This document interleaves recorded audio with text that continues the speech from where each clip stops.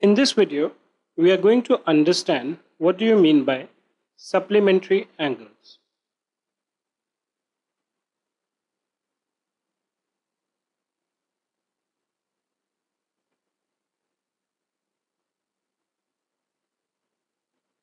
When the sum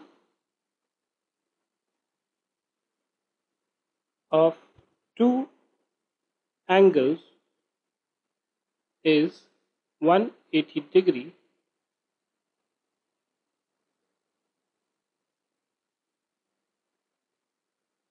these angles are called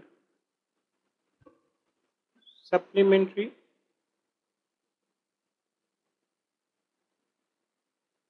angles.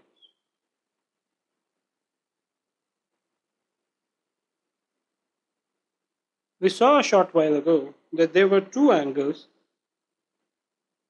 Let's say suppose this angle is 180 degree, 110 degree. This angle is 120 degree. This angle is 60 degree. And this angle is 70 degree.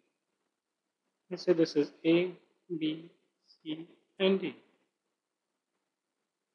So we know that angle A, which is the this one, plus angle D is equal to 110 plus 70, 180 degree. Similarly, we also know that angle B plus angle C is equal to 120 plus 60 is equal to 180 degree. So therefore, what we say is that angle A and angle C, or rather angle D, are complement supplementary angles. Angle B and angle C are supplementary angles.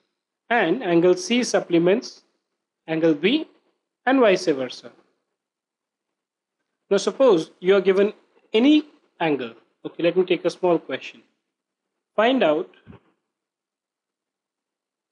supplement angle of following. Let's say you have 85% 85 degree or you have 75 degree. We know that the supplementary angles the sum of two supplementary angles is equal to 180 degree. So let's say that is angle x. So 85 plus x degree is equal to 180 degree. Therefore by implication x is equal to 180 minus 85 which gives me 95 degree.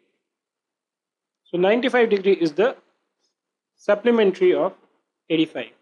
Similarly for 75 also instead of getting into the details I can do straight away this 180 minus 75 105 degree. So the supplement of 75 is 105 and supplement of 85 is 95 degree. So that is the manner in which you compute your complementary and supplementary angles.